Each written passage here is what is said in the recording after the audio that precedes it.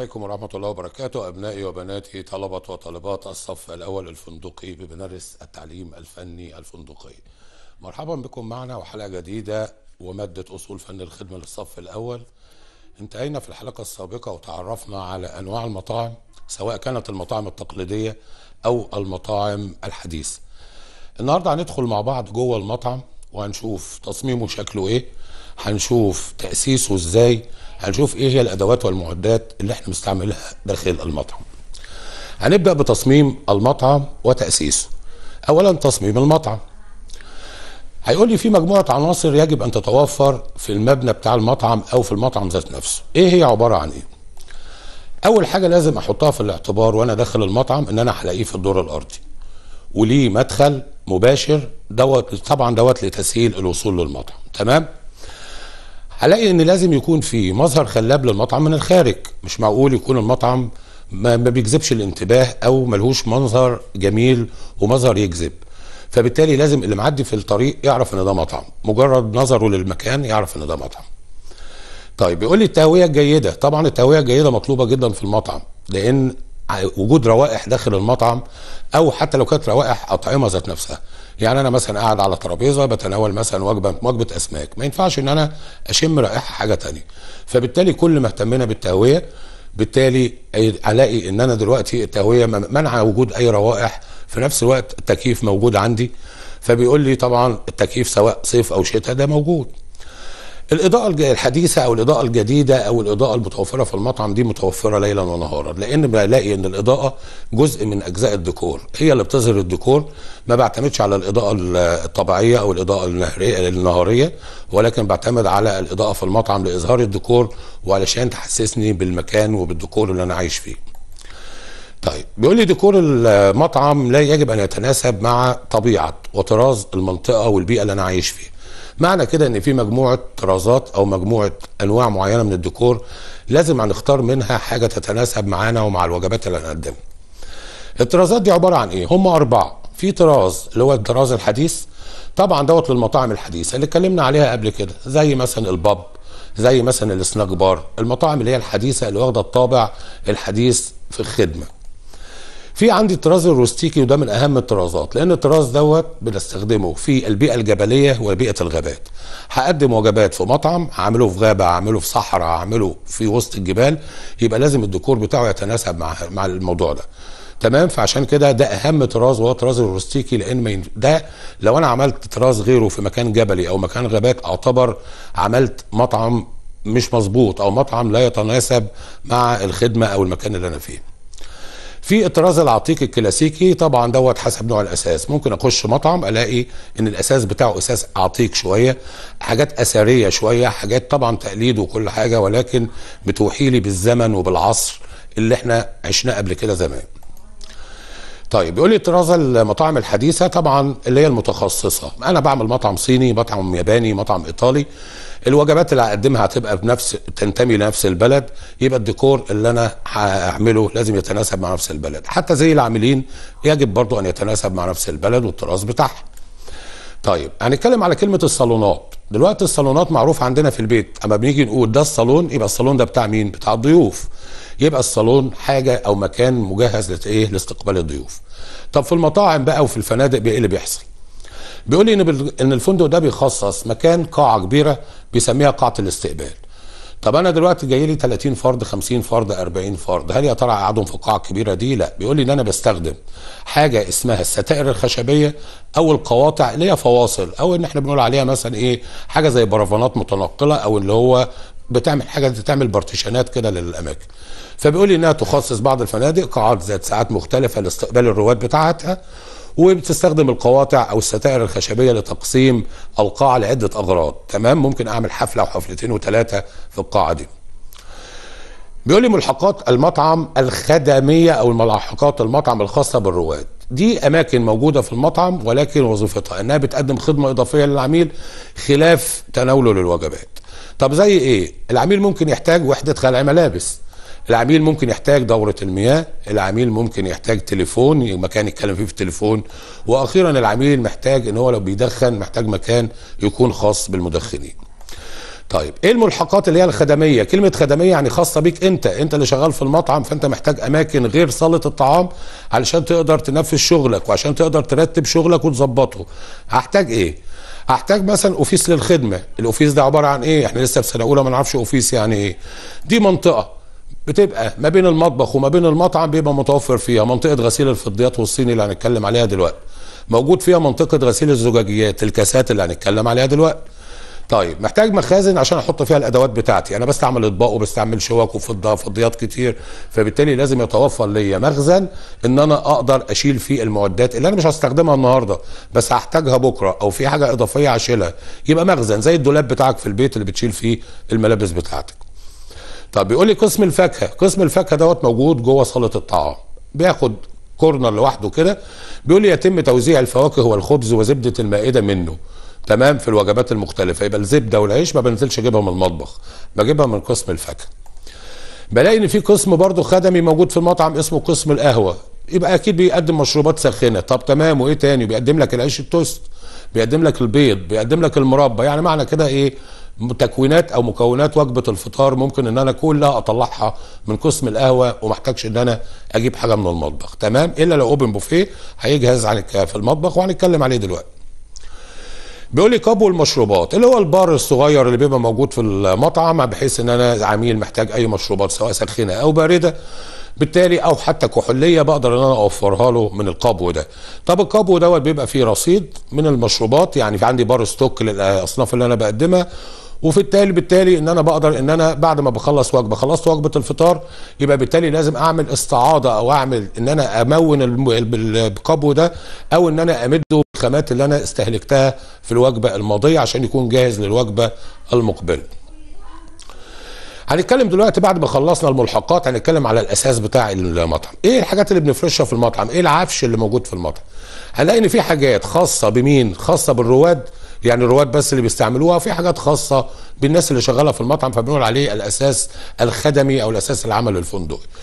العميل محتاج إيه؟ العميل محتاج منضدة. الترابيزة الترابيزة اللي هيقعد وياكل عليها. طب الترابيزة دي لها مواصفات مبدئيا بنقول إنها ارتفاعها ثابت 75 سم من الأرض لحد أعلى حاجة في الترابيزة 75 سم طيب أشكالها إيه؟ بيقول لي إن في ترابيزة مستديرة. مستديرة يعني هنتكلم على حاجة اسمها القطر. يبقى قطر الترابيزة بدايه من متر لحد مترين. أزيد من مترين بقى الترابيزة اوفر قوي ممكن تعتبر ترابيزة مؤتمرات. يبقى من متر لمترين. الترابيزه المربعة برضو من متر لمترين يعني جميع أضلاعه زي بعض لا إما كله متر لا إما كله مترين.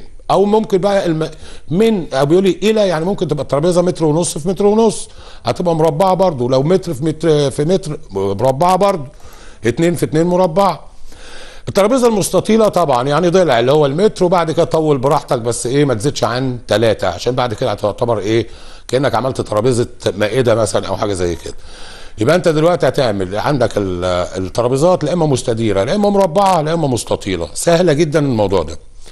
طيب دي أشكال الترابيزات. أدي شكل ترابيزة مدورة ترابيزة مربعة طبعا إحنا عارفين الحاجات دي بس دي شكل من أشكال المطاعم أو مش أشكال الترابيزات الموجودة أو المناضد الموجودة في المطعم. طب المقاعد هل يا ترى في حاجة زي ما قلنا الترابيزة كده ارتفاعها 75 سم في حاجة standard لازم نحفظها ونعرفها؟ أيوه إن الكرسي ارتفاعه ما يزيدش عن 45 من أول الأرض لحد ما العميل قاعد عليه. ده ليه؟ لأن أنا دلوقتي مرتبط بحاجات كتيرة. مرتبط بمقاس الترابيزه مرتبط بال waiter. طوله قد إيه؟ الراجل هي serve عليا ويخدمني. طوله قد إيه؟ هل يا ترى مثلا لو عليت عن كده هيقدر يخدمني بسهولة؟ هل لو وطيت عن كده هيقدر يخدمني بسهولة؟ يبقى دي بتبقى حاجة standard مطابقة للمواصفات. طب المقاعد دي شكلها إيه؟ عندي ثلاث أشكال.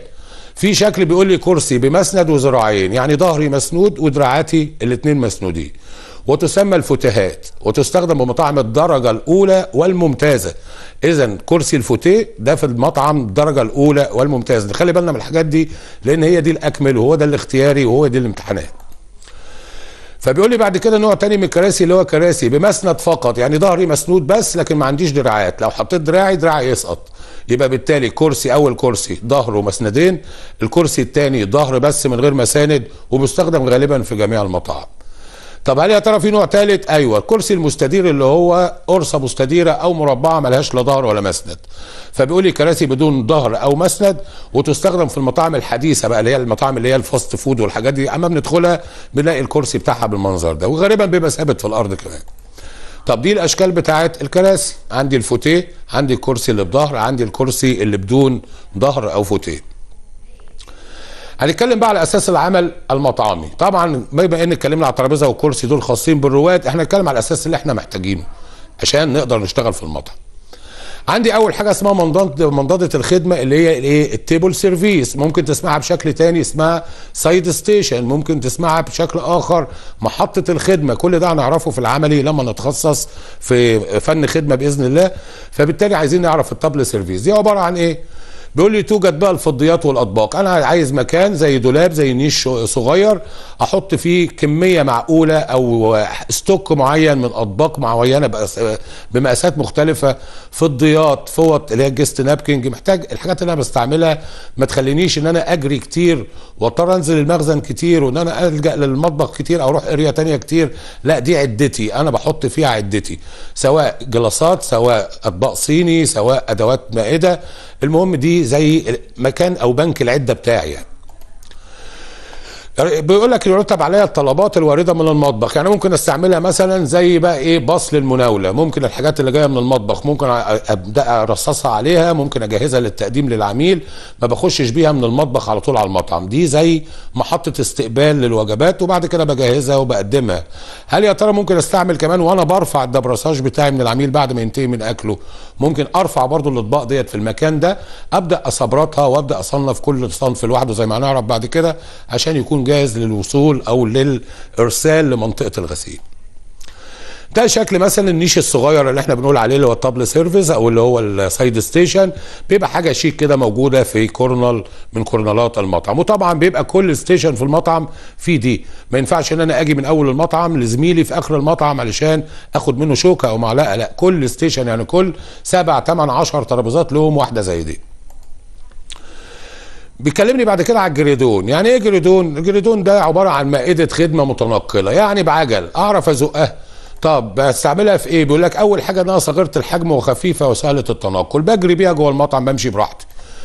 بيقول لي مزودة بعجلات لتسهيل الحركة. أكيد هتبقى لها عجلات امال هتمشي على إيه؟ مش معقول اجرها في المطعم. يتم عليها تقطيع الأطعمة وطهي المأكولات المشتعلة. قال لا يعني معنى كده ممكن إن أدخل بالأكل قدام العميل بيها وممكن إن أنا أقسم الأكل وممكن إن أنا أكمل تسوية كمان. طيب يبقى كده ال guéridon دي حاجة جميلة. يعني معنى كده إن العميل ممكن يشوفني بال guéridon. لكن لما نتكلم بعد كده على الترولي هنعرف إن الترولي لا في تروليات ممنوع العميل يشوفك عليها. لأن دوت زي العربية نص نقل اللي بعد ما العميل بيخلص خالص ممكن أمشي بيها في المطعم ألم كل شيء ألم مناجاتي اللي هي ملحاتي وحاجتي ألم أي بقايا عشان أجهز المطعم للتنظيف وللفرش مرة أخرى. يبقى خلينا في ال guéridon دلوقتي اللي هو مائدة متنقلة.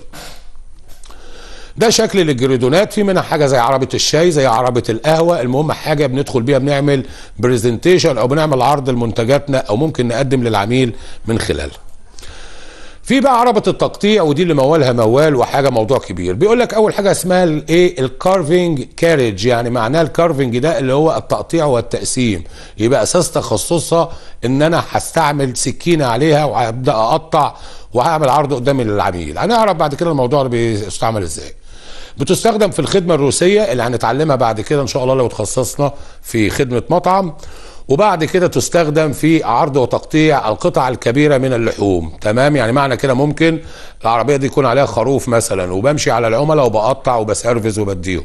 عليها ديك رومي مثلا عليها قطعة لحمة كبيرة كتلة كبيرة معمولة بشكل معين أقدر إن أنا أعتبرها زي شو.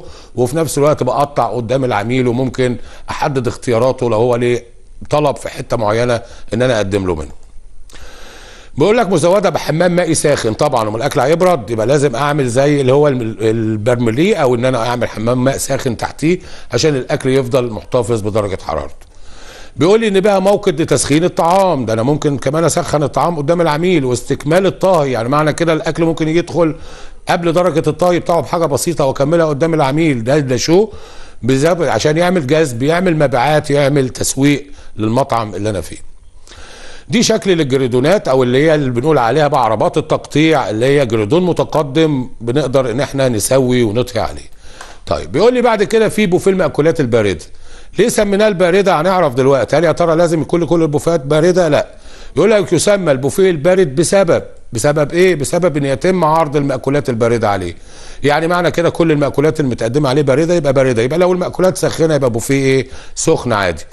فبيقول لك إن احتوائه على جهاز تبريد طبعا علشان الحاجات اللي هيقدمها تفضل باردة زي ما بنحافظ على درجة الحرارة السخنة لازم نحافظ برضو على برودة الطعام.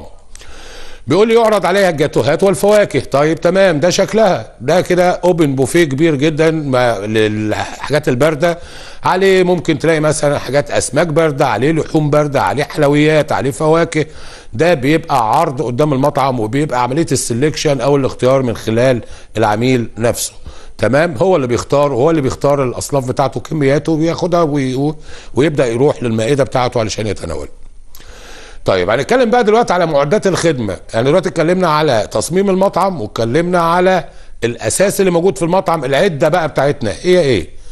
فبيقول لك الفضيات. هنبدأ نتكلم على الفضيات ونركز مع بعض. بقول لك الفضيات هي المعدات المصنوعة من معدن مطلي بالفضه يعني معنى كده إنها مش فضة خالصة ولكن انها بتستخدم مثلا من النيكل كروم وبعد كده بطليها بالفضة. يبقى هي شكلها من بره فضة ولكن وزنها مش فضة. ومنها فضيات المائدة أو أواني التقديم المعدنية والرشوهات طبعا الكلام ده هنعرفه لأن إحنا لسه ما نعرفش يعني إيه رشوهات ولا يعني إيه الحاجات دي. أهم حاجة اللي عايزين نعرفها في الصفحة اللي قدامي إن أنا دلوقتي عايز أعرف إن الحاجات الفضية دي تتحمل الخدش والصدمات يعني مش أي خبطة ليها إنها تتخربش وتتخدش وإنها تتحمل درجة الحرارة العالية. تمام كده لحد كده. هنتكلم بقى على المعدات الفضية المستخدمة بالمطعم. ده في حاجات كتير في أواني التقديم. يعني معنى كده في أواني فضية هتتقدم وتنزل على الترابيزة أمام العميل. طيب نشوف في منها المستديرة. زي ما إحنا في البيت كده بنحط مثلا الصينية قدامنا. صينية مدورة مستديرة فيها طبعا مأكولات مسبكة وخضروات. طيب تمام. ممكن يكون عندنا سمك أو عاملين أومليت أو عاملين صنف لحوم معين ونلاقينا منزلين كده حاجة اسمها سيرفيس. فبيقول لك سلستين برضه هو مستطيل بيبقى محطوط مرصوص عليه الأسماك أو حاجة بشكل بحيث إن هو يبقى زي ال centerpiece في الترابيزة أو إن هو مش لاستخدام شخص واحد هكذا يعني. بيقول لي العميقة. العميقة دي أنا معناها إنها عاملة زي الحله كده غويطة ولها غطا. طب أستعمل فيها إيه؟ بيقول لك اللحوم المطهية مع الصلصة. حاجة معمولة مع الصلصة يعني مطبوخة. يبقى أنا محتاج إن أنا أعملها في حاجة عميقة علشان أقدر إن أنا تكون باينة كلها وفي الصوص بتاعها أقدر أستعمله. بعد ادوات التقديم في فضيات المائدة التقليدية. نعرف على طول أدوات مائدة يعني إيه؟ شوكة سكينة معلقة. ده اللي لازم نعرفه من وإحنا في اول يبقى هي الشوكة والسكينة والمعلقة. الاطباق الإيه؟ الرئيسي. الطبق الرئيسي لأن في أنواع كتير من الفضيات وأنواع كتير من الشوك هنتعرف عليها دلوقتي. لكن نعرف إن إحنا الم... الأدوات المائدة إيه؟ شوكة سكينة معلقة. حتى في التيك أواي يديك بلاستيك. شوكة سكينة معلقة. تكون من معدن مغطى بطبقة من الفضة زي ما قلنا وغالبا هو النيكل كروم وبيبقى مطلي ومصقول في الفضه طيب بيقول لي بعد كده اهوت دي أشكال ليها. بعض الأشكال بمجرد إن إحنا بس نتفرج إن في أطقم مختلفة وأشكال مختلفة للفضيات فضيات المائدة الخاصة بما إنه قال لك كلمة فضيات مائدة خاصة يعني فضيات بتستخدم في أوقات معينة مش في المعتاد. طب يعني إيه؟ هل يا ترى دلوقتي أنا مثلا ما أجي آكل أقول له أطلب مثلا الشوكة صنفها إيه؟ لا الأكل اللي أنت بتطلبه هو اللي بيحدد الشوكة اللي أنت هتستعملها صنفها إيه. فبيقول لك وهي فضيات تخصص لاستخدام لاستخدامات محددة. زي فضيات السمك يعني معنى كده شوكة السمك مختلفة وسكينته مختلفة تمام. في ملاعق القهوة والمثلجات نبص نلاقي أيوه القهوة لها معلقة أيوه القهوة لها معلقة. الإسبريسو لها معلقة. لو خدت اللاتيهات والحاجات دي لها معلقة. فببص الاقي معلقة الإسبريسو حاجة صغننة خالص كده زي بتاعة البيبي.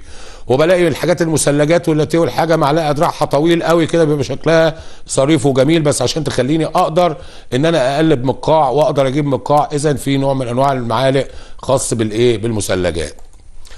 بيقول لي في الضياط والسكاكين الحلو. يعني معنى كده إن الحلو ما بيتاكلش بأي سكينة. لا ده في سكينة اسمها سكينة الحلو.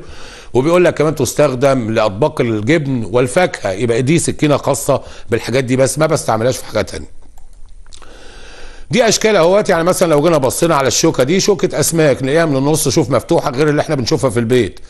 دي ليه؟ هل يا ترى لها فايدة؟ أيوه هتلاقي إن لها فايدة لانك لو متعلم إتيكيت أكل السمك هتعرف إزاي تخلي سمكتك هتعرف إزاي تشيل سلسلة الظهر بتاعتك.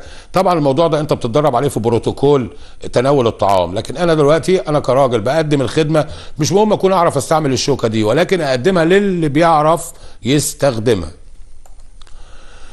بيقول لك المعدات المتنوعة. معنى كده إن في حاجات كده ممكن إيه متنوعة ممكن تقابلني. بيقول لي أواني خدمة القواقع. إيه القواقع دي؟ ده صنف من اصناف الصدفيات. هنشوف صورته دلوقتي. جايب لكم صورته. لأن أنا واثق إن مش هتلاقيها أو مش هتفهم. فبيقول لك ده صنف سلستين برضه أو بنقول عليه اللي هو فضية. بيقول لك إن هو بيستخدم في تقديم. ليه عيون كده عاملة زي إيه؟ عيون بيتحط فيها حاجة. هنشوفها دلوقتي. بيقول لك كوب مفضل لخدمة مثلجات حاجات بقى مثلا زي مثلا السبير أو اللي هو بتاعة الشامبين أو حاجة المهم حاجة كده زي إيه نقول عليها إيه عشان تعرفها حاجة كده زي كوباية سل... فضية واخد بالك؟ زي شفشق صغير. المهم دي بتستخدم عشان حفظ الثلج أو إن أنا أسقع فيها حاجة من المشروبات. طيب بيقول لك أواني تستخدم لتقديم الكامبوت وبالبيض والجيلي وتستعمل ال ramekin. دي أواني مخصصة بتستخدم للحاجات دي الجيلي الكريم كراميل الحاجات دي برضو من الفضة. طيب ده الشكل اللي إحنا بنقول عليه للصدفيات. دي بتنزل كده قدام العميل ال portion بتاعه ست صدفيات. الصدفيات دي طبعا بياكل محتوياتها من جوه فبالتالي لها شوكة خاصة بيها زي اللي إحنا شايفينها في الطبق دي. عبارة عن سنين دي علشان يقدر يجيب محتويات القوقعة من جوه ويقدر ياكلها. فده برضو شكل من أشكال أواني الفضيات المقدمة بس بتستخدم فين؟ في مطاعم معينة بتقدم أصناف معينة. مش كل المطاعم حتى مش مطاعم الأسماك مش كلها بتقدم خدمة القواقع أو الطبق اللي إحنا شايفينه قدامنا ده. في أدوات مساعدة خاصة زي طيب أنت بتقول لي ساعدة يعني معنى كده حاجة فضه بستعملها.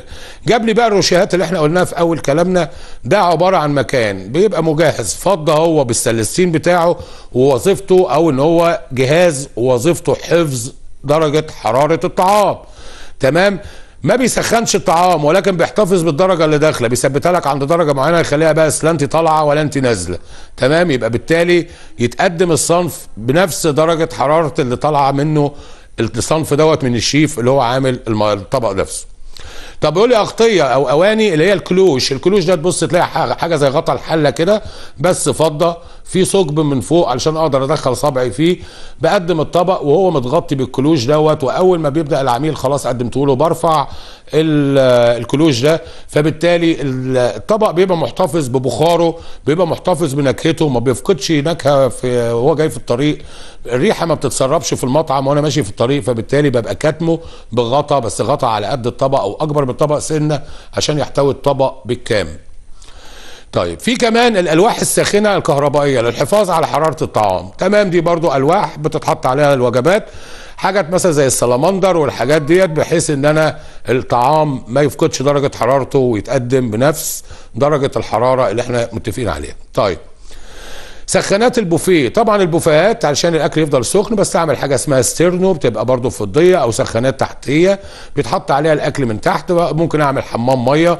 بيبقى برضو إن أنا أقدر إن أنا أحافظ على درجة المأكولات المقدمة علشان لا توصل لدرجة الفساد أو توصل لدرجة عدم إرضاء العميل. تمام؟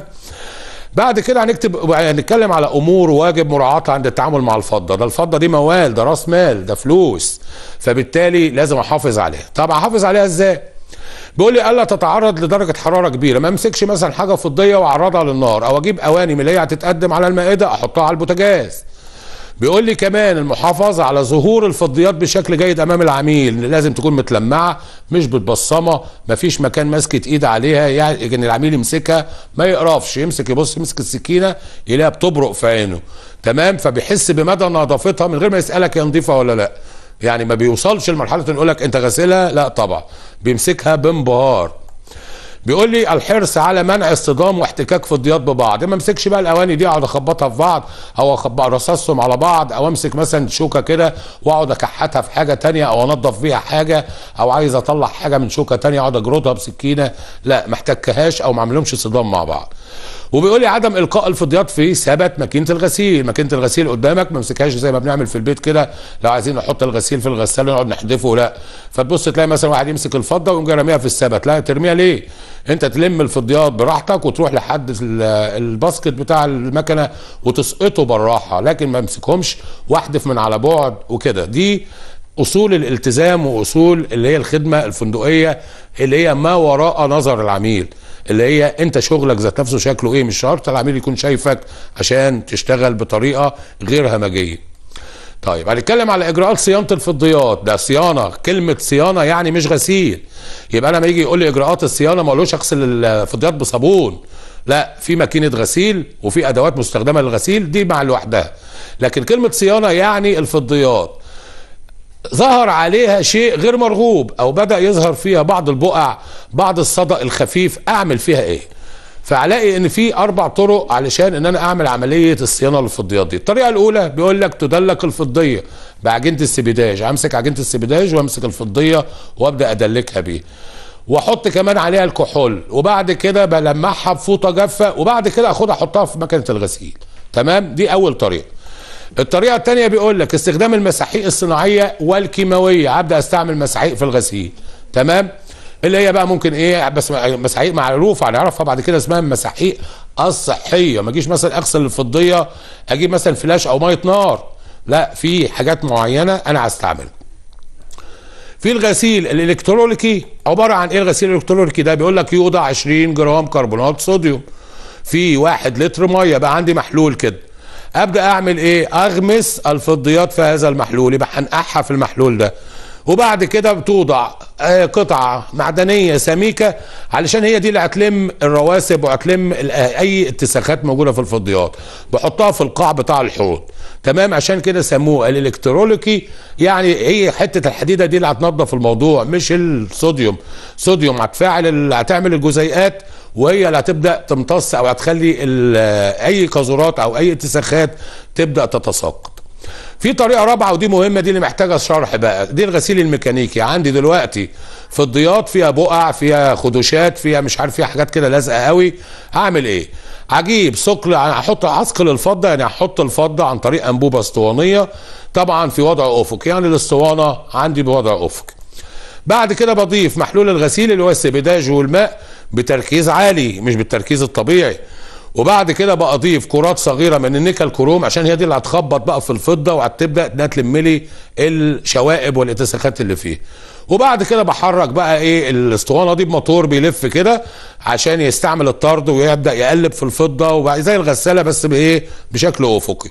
حول محورها بطريقة منظمة وغير سريعة يعني على مهلنا مش بسرعة علشان ما أبدأش إن أنا أبوظ الفضية المغسوله هندخل دلوقتي على الأطباق ودي أساس طبعا العمل المطعمي. الناس بتاكل في إيه؟ بتاكل في أطباق. فبالتالي هنقول المواد التي تصنع منها الأطباق. أنت الأطباق اللي أنت شفتها في بيتك إيه؟ مش مهم اللي شفتها في المطاعم إيه؟ أو أنواعها إيه؟ شفت طبق صيني؟ أكيد شفت طبق صيني. طبعا نتكلم عليه ده لوحده. شفت طبق فخار؟ أيوه شفت بريمة وشفت بولات فخار وشفت أكل بيتقدم في أطباق فخار في بعض المطاعم. ده دلوقتي بتوع الكشري بيشتغلوا في أطباق فخار. فبيقول لي اطباق بلاستيك؟ أكيد. في اطباق ميلامين أكيد. في أطباق زجاجية من أول البايركس الأول اللي هي الأصناف إيه؟ السوقية أو اللي موجودة. يبقى دول خمس أنواع بنصنع منهم الأطباق. صيني فخار بلاستيك ميلامين زجاج. عيب قوي ما يجي سؤال زي ده ونبقى مش عارفين الأطباق بتتصنع من إيه. عامل غسيل الأطباق. هل يا ترى عامل غسيل الأطباق ده لازم يتوفر فيه مواصفات معينة؟ أكيد طبعا. ده راجل بيشتغل بعدة بألوفات. واقف على مكنة غسيل بالوفات يبقى بالتالي لازم يكون فيه مواصفات. بيقول لك يجب أن يكون لديه خبرة عالية تمام حيث أنه يتعامل مع آلة ثمنها آلاف الجنيهات. طيب وإيه تاني؟ بيقول لك الأدوات تخرج مباشرة للعميل من إيده. يعني أنا دلوقتي الراجل ده بيطلع لي العدة نظيفة ومتشيكة ومغسولة ومتعقمة باخدها منه على طول بشيك عليها تشيكة كده عابرة.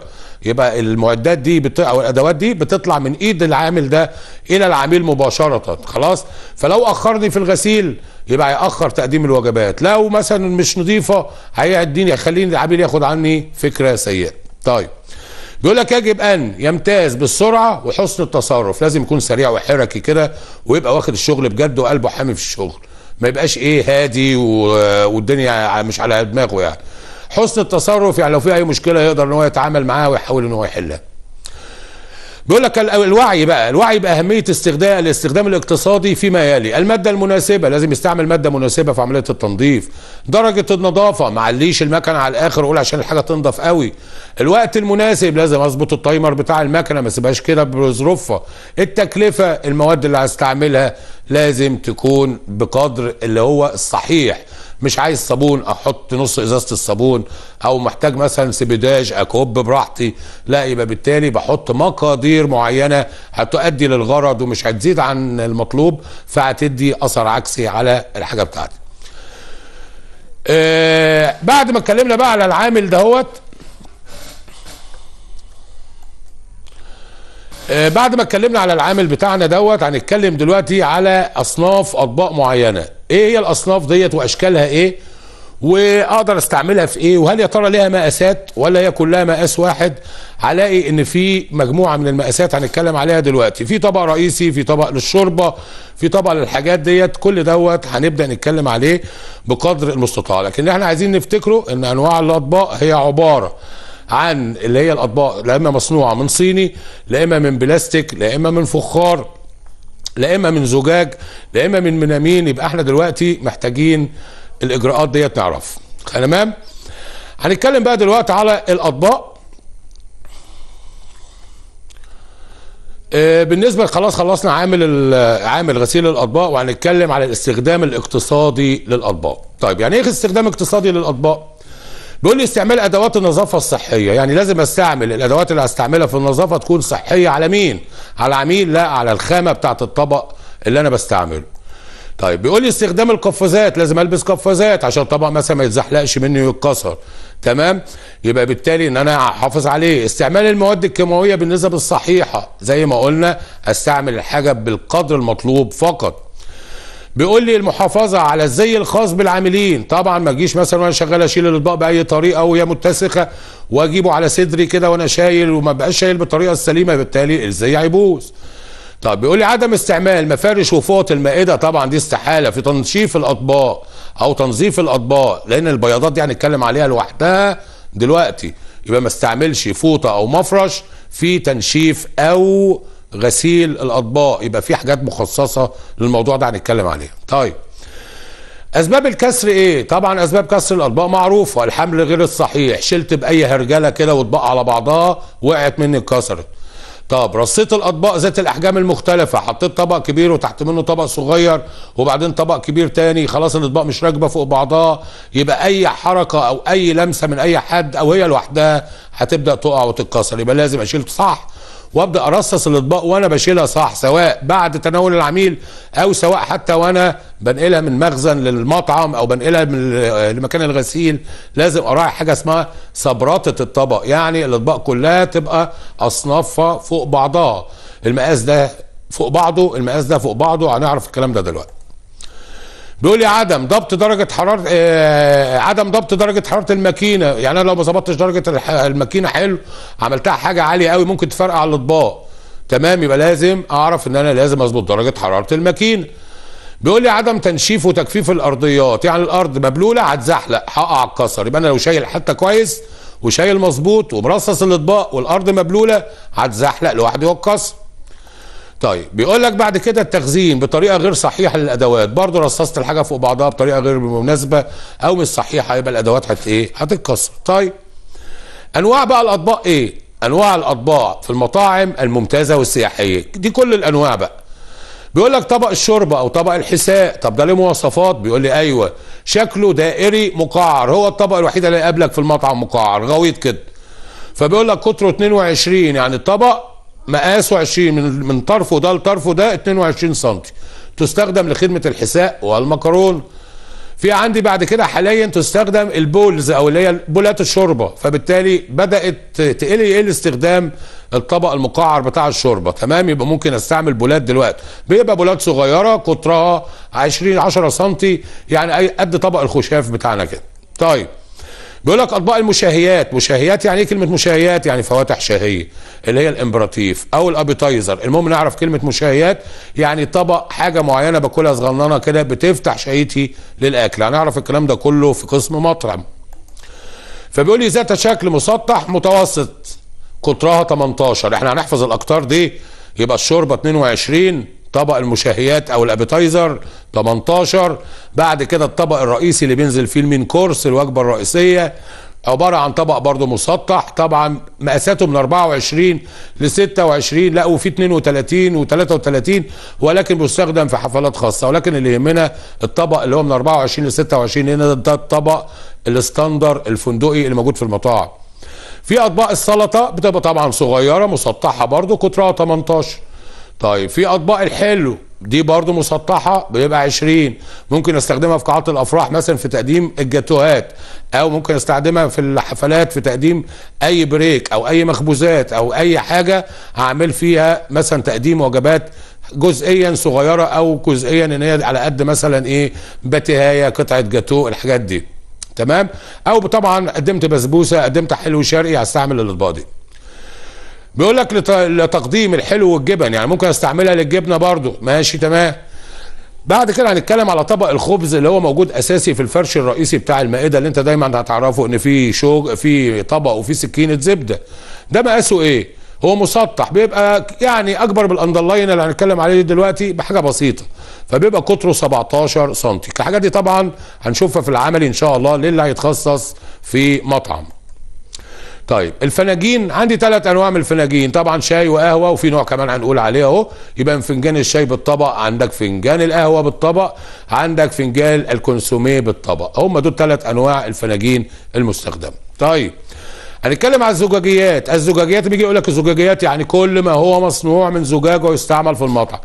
سواء كوباية مية سواء كاس سواء آه شوب سواء أي حاجة هنعرف الإيه؟ الزجاجيات دي عبارة عن إيه. طيب بيقول لك الأكواب في المطعم عبارة عن أكواب مية. تمام؟ شوب للمية. عندي أكواب عصير.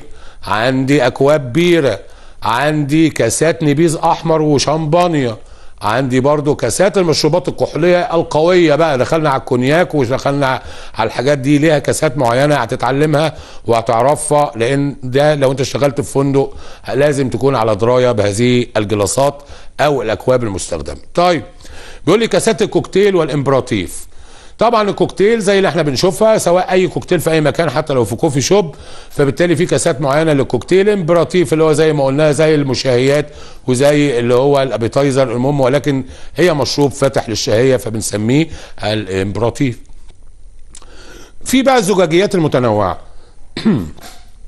زجاجات متنوعة يعني إيه؟ يعني دورق مية ممكن في برضه إيه؟ ممكن استعمله في مطاعم خلاص شغالة بقى دلوقتي مية معدنية زجاجيات كده ولكن برضه لازم نعرفها بما إننا إحنا بندرس وبنعرف. فزجاجات متنوعة ممكن ألاقي الدورق أو شفشق المية. ممكن ألاقي الملاحات برضو من الزجاج اللي هي بستعملها بتبقى محطوطة في المناج ملاحة فلفلة اللي بنحط فيها الفلفل الزجاجيات مثلا لو في زجاجة خل على المناج بتاع الترابيزة أو زجاجة زيت أو الحاجات اللي هي الخاصة بالطاولة ذات نفسها وتناول الطعام. في عندك برضو فنجان بول. اللي هي فنجر بول لغسيل الأصابع الفنجر بول ده عشان برضو معلومة ليك عقبال ما إن شاء الله تتخصص عبارة عن طبق صغير بيبقى مخصوص لغسيل الأطباق أنامل الأطباق أطراف الأطباق بعد تناول ال sea food أو الايه الأسماك بتغسل إيدك على الترابيزة بيقدم لك بشوية مية دافية ومعاه الليمون فبالتالي أنت بتنظف إيدك من الزفارة بس تمهيدا لغسلها أو ممكن تكتفي بالموضوع ده على أساس إن أنامل الأصابع أو أطرافها هي اللي ممكن تلمس محتويات الأكل أثناء استخدام الفضيات. تمام؟ هنتكلم بقى على صيانة وحفظ الزجاج. هو ليه صيانة؟ أيوه ليه صيانة؟ بيقول لك تداولها برفق يعني تتعامل معاها بالراحة. تداولها وحركها وانقلها من مكان لمكان برفق ومهارة لسهولة قابليتها للكسر دي حاجات قابلة للكسر حتى لو دلوقتي في اي هو عموما لو في أي حاجة قابلة للكسر تلاقيه حاطط لك علامة قابلة للكسر يعني احترس. الإزاز ما بيهزرش. بيقول لك ترتب حسب أصنافها على ارفف بعيد عن الأتربة ما غسلهاش وارميها كده لا لازم أرصصها في شلات معينة أو في طاولات معينة وأحطها في مكان بعيد عن الأتربة ويستحسن إن أنا أعملها cover أو إن أنا أغطيها. طيب يقول لي عدم استخدام الزجاجيات المخدوشة والمكسورة كوباية اتخدشت اتكسرت خلاص out of order ارمي.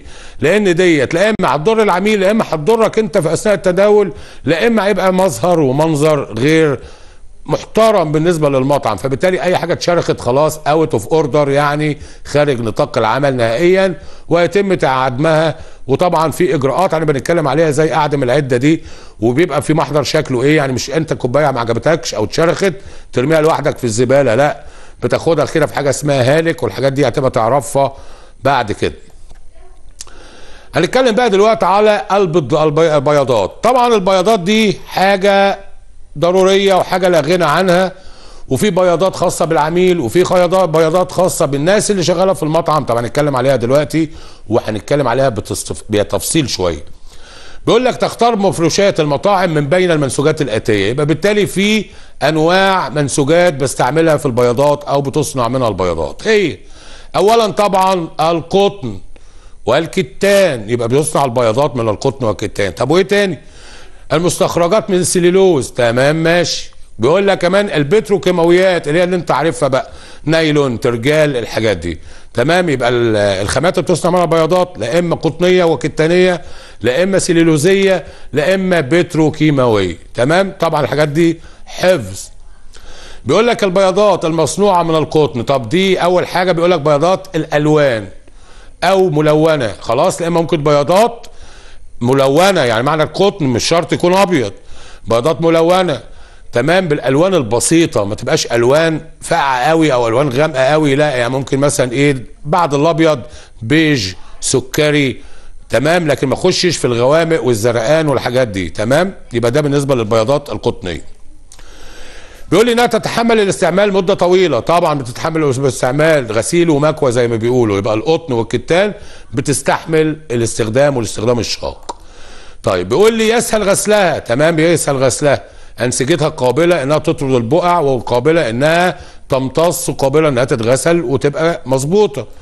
بيقول لي إن هي ناعمة الملمس. القطن طبعا حاجة ناعمة بدليل إن إحنا مثلا نلاقي معظم المنسوجات اللي إحنا بنيجي نشتريها بندور على الخامة القطنية. بتشرب عرق بتتغسل بسهولة ملمسها لطيف هكذا يعني. طب البياضات المصنوعة من الألياف الصناعية بقى هل يا ترى حلوة زي القطن ولا مش حلوة؟ هنشوف دلوقتي إنها أول حاجة تمتاز بمتانتها متينة جدا. عدم قابليتها للكرمشه المفرش تكرمشه وتطبقه وتنفضه تلاقيه اتفرد لوحده. تمام؟ يبقى البوليستر والحاجات ديت برضو من الخامات بتمتاز. أول حاجة هنعرف إنها برخص ثمنها لأنها أرخص من القطنيه وهنعرف كمان إنها قابلة لل للمتانة وفي نفس الوقت إنها قابلة إنها ما تتكويش يبقى غير قابلة للكرمشه طب بيقول لي سريعة الجفاف. هواء مجرد ما اغسلها واعرضها بس كده في المجفف أو حتى لو نشرتها على كرسي دقيقتين خمس دقايق بلاقيها نشفت. طيب بيقول لك لا يلزمها كي زي ما قلنا ما بتتكرمش أساسا يبقى بالتالي هتتغسل هتتفرد لوحدها. بيقول لك بها تشكيلة ألوان. هي دي بقى الميزة اللي بتميزها عن القطن. القطن زي ما قلنا ألوان بيضة وألوان مايلة للألوان ولكن بنسب بسيطة.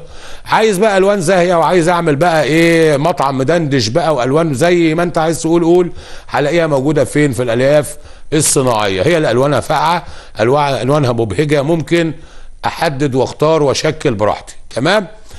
الحد الأدنى لرصيد البياضات حد أدنى يعني معنى كده إن الرصيد ده أنت بتحكمني بحاجة معينة أو بتقول لي ما تزودش عن حاجة معينة. أيوه بقول لك كده.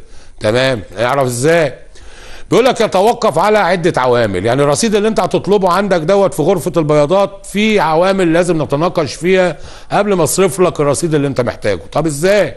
بيقول لي أول حاجة نوع التشغيل. هل يا ترى إحنا هنشتغل بطريقة موسمية ولا بطريقة طوال العام؟ البياضات اللي انت عاوزها دي عشان تشتغل ثلاث أشهر الصيف أو شهرين الشتاء ولا انت شغال بيها طول العام؟ لا يا ريس شغال طول العام. طب خد بقى الرصيد اللي يقضيك طول العام. لكن لو انت هتشتغل على قد شهرين ثلاثة يبقى خلاص خد على قدك. طيب تمام. يبقى أول حاجة بتحدد الرصيد للبياضات هي نوعية التشغيل. موسمي ولا طوال العام. بعد كده بيقول لك نوعية الرواد. هو الرواد لهم أنواع؟ أيوه. في عبوه زبون كده طياري زي ما بيقولوا. اللي هو بنقول عليهم إيه؟ عابرون. وفي زبون دائم. بيجي لي كل يوم. بيجي لي بصفة مستديمة. المكان ده مكانه ما بياكلش غير عندنا. يبقى بالتالي لازم أعمل لك تشكيلة وأعمل لك تغيير وأهتم بالبياضات. ليه؟ لأن الزبون مش معقول هيمل أو هيعمل. لكن زبون جاي لي في مرة وكده شاف المفرش ده. عفوا شاف المفرش دوت. ممكن يفتكر إن المفرش ده جميل. لكن لو شافه مرة واثنين وثلاثه هيجوا لكم ما عندهمش غير المفرش ده. مفيش حاجة أحسن من كده. يبقى بالتالي نوعية التشغيل ونوعية الرواد هي اللي بتحدد لي الرصيد. طب إيه تاني؟ المغسلة. هل يا ترى أنا المفارش والبياضات دي أغسلها جوه المطعم؟ يعني عندي غسالة جوه المطعم ولا أبعتها بره؟ طيب بمعنى إن أنا أبعتها بره؟ يعني مش هتيجي في ساعتها. يبقى معنى كده إن لازم يكون عندي طقم احتياطي. يبقى بالتالي لما تيجي تطلب عندك مثلا لو ترابيزة محتاج لها مفرش لا هاخد ثلاثة ليه؟ عشان واحد يكون مفروش. طب والتاني؟ محطوط في أوضة البياضات للاحتياطي. طب والتالت؟ ده في المغسلة يا باشا.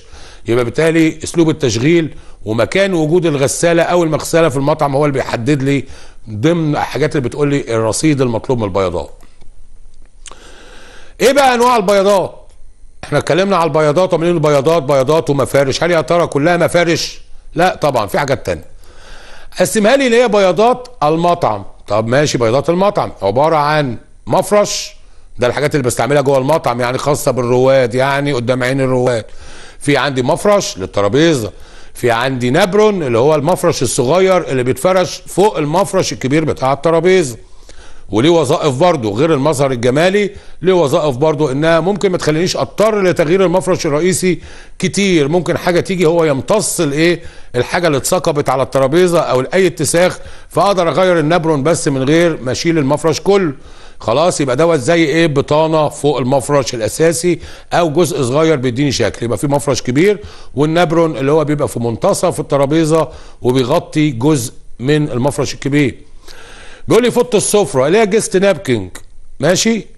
ال guest napkin اللي هي الفوطة الخاصة بالعميل اللي أنا بعملها طيات بحطها على أمام ال couvert بتاع العميل بأشكال مختلفة. هي دي ال guest napkin أو فوطة السفرة. تمام؟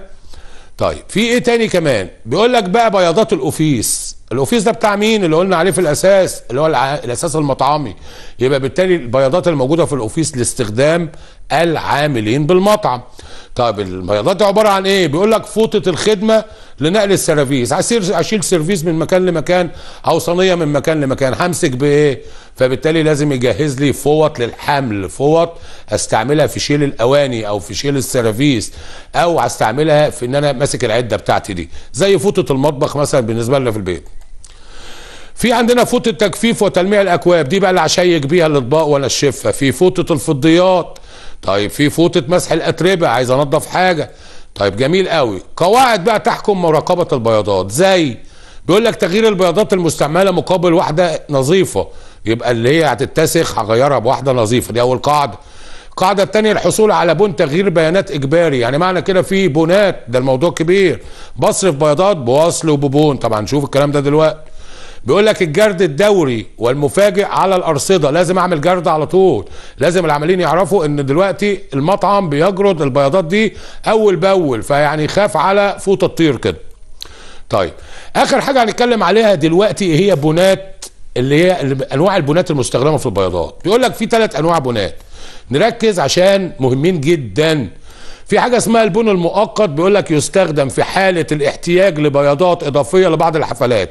عندي حفلة معينة العميل بتاعي مختار مفرش معين نوع فوطة سفرة معينة فبالتالي بصرفها ولكن بصرفها بصفة مؤقتة. يبقى حفلة مطلوب فيها حاجات معينة بصفة مؤقتة وبيقول لك بعد كده إيه تسترد هذه البياضات بعد انتهاء الحفلة مباشرة. خلصت راحت اتغسلت ترجع تاني المخزن تاني. ده البون. بون زيادة رصيد التشغيل تمام. بيقول لك يستخدم لصرف الكميات الإضافية المطلوبة للتشغيل. أنا دلوقتي قسم أي قسم هيطلب بياضات محتاج كمية إضافية يبقى بالتالي اعمل لي بون. أنت الرصيد بتاعك 200 مفرش 100 مفرش. عاوز 20 كمان مفيش مشاكل. اعمل لي بون زيادة رصيد عشان هضيف عهدة عليك على المية اللي عندك هيبقى رصيدك 120 آخر بون بقى وهو المهم اللي عايزين نفهمه قبل ما ننهي حلقتنا مع بعض هو بون الكميات المتبقية. يعني إيه بون الكميات المتبقية؟ انت دلوقتي مثلا مطلوب إن أنا أصرف بياضات النهارده للمطعم الرئيسي وفوجئت إن أنا مثلا الكلام ده أصرفه لهم النهارده بالليل. فوجئت إن أنا الكمية اللي عندي مش موجودة. اللي هم عايزين 200 أنا ما عنديش غير 160 أعمل إيه؟ أعمل بون باستكمال البياضات أو إن أنا بمعنى صح هبلغ على الكمية المتبقية.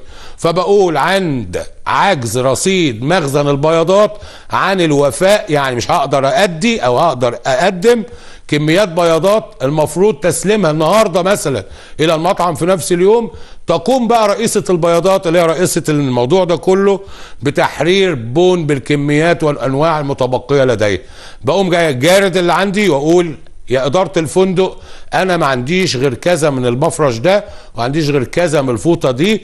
أنا دلوقتي مطلوب مني بالليل عدد مش متوافر لدي. فبعمل بون عشان أنا أصرف بيه من مين؟